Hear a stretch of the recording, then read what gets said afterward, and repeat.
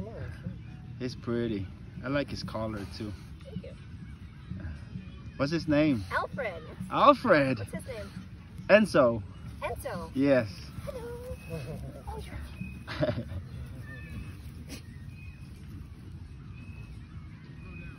Oh. How much does he weigh now? I don't even know to be honest with you. hey, buddy. Hey. Hey. Hey. I like this guy. Four months. My goodness. Oh my, you're smart for four months. yeah, he's pretty smart. What do you guys feed him? Um, He's so healthy too. Oh, so it's changed over the years. Um, I think when we started, first year, what did we feed them? That's a long time ago. Uh, well, now it's two cups a day. yeah. And, Um, hard food? and mix, like half kibble. But we use two different types of kibble for half of it. We do Okay. Orijen for one quarter cup of Orijen.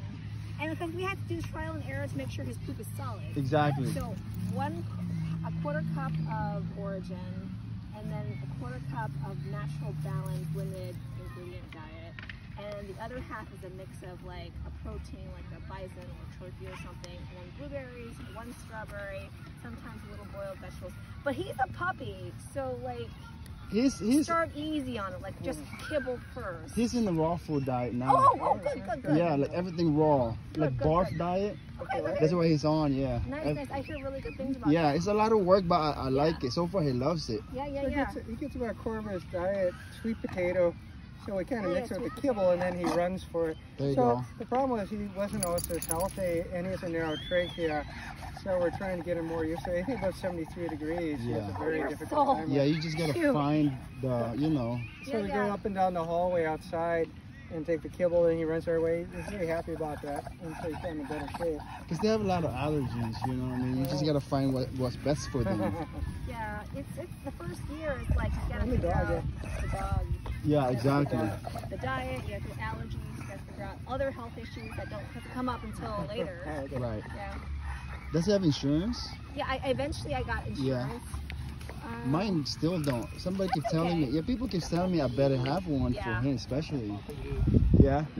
Um, I mean, I waited till like right before he turned six because on depends on what the uh, insurance carrier is. Uh huh. Hey, buddy. Hey, buddy. You know, like uh, so the one that I picked out, uh, I picked out Healthy Paw. But then if I were to do it again, I would have picked um, s- is it the one with um, it's called Spot or something. Whoa, I like. Oh, Alfred. But it's because Oh, like um, it covers um, hip dysplasia Okay. bef- if it's before six. Okay. Yeah, so I did. I waited one week before six, right, and then you I got it. Yeah, so it should still be covered. Yeah, I don't know if I should get one now or. He still doesn't have like shots or nothing like that. Oh, right.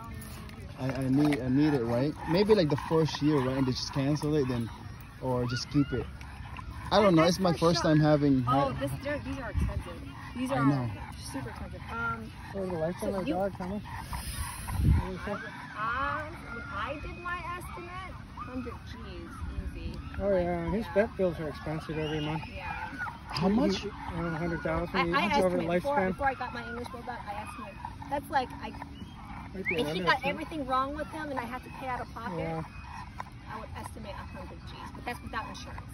Oh wow. Right? Yeah, So yeah. he just, he just. So I like, better get one now. The earlier, Yeah, the so, better, okay, so right? he's gonna, they're gonna have a lot of ear infections, yeah. and so if he has an ear infection before he gets insurance, all subsequent ear infections are not gonna be covered. So there's that. Um, Okay. So, so they're, they're gonna cover everything that hasn't occurred yet. Okay. Yeah, I, I heard that. Like, I I'm supposed to get one this month, but like something happened where I had to cancel. Okay. You know, because Still early. Yeah, yeah, early. it's still early, but I don't, yeah, like I keep getting all this like suggestions and like comments about English Bulldog. Like I really want to learn too. I've only had him for for three weeks. Oh, Uh-huh. Yeah, so we're learning. We're, we're learning. We We're getting to know each other right now. Yeah, they're um, they're very heat sensitive, Yes. So be careful. Yes. Like really be careful. Uh, noise, like you don't want to, you don't want them outside during fireworks. That will spook them. yeah. Uh, spook them like really bad. Um, Oh really? yeah. Especially at this age. it doesn't matter what age. Um, They are too, don't they? Yeah. Oh, okay. The thing is about fireworks. So I was at a, um, I was well, before I got a dog. I would go to the uh, dog store and like pet dogs every day, Uh-huh. right? And the lady selling said, "Oh yeah, there's a guy And so who bought an English bulldog from us, and then he took him out on the Fourth of July." And didn't like keep him in, Uh-huh. and there were fireworks going off, and then he got so scared he died. Yeah. really? Yeah, so keep him inside. Oh wow. Yeah. So didn't that's why, that. like, that's why when we were walking through New York or Boston and they were doing fireworks, I jumped into the car and covered his ears because they can get so spooked. Okay. Yeah, I, I covered his ears. And so, come here. And then we left. So Okay, say bye bye. Say bye bye. Say bye bye. These the wrinkles, are the big ones.